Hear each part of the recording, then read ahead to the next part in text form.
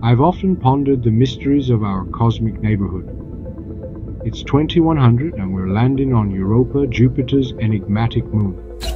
Our advanced spacecraft touches down on a yellowish, rocky, and icy surface.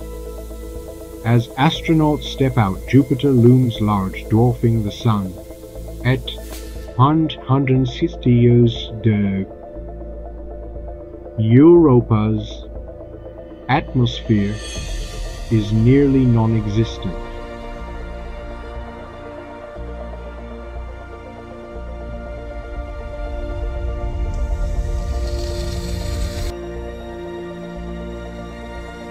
Suddenly, a cryovolcano erupts in the distance, its water plume instantly freezing.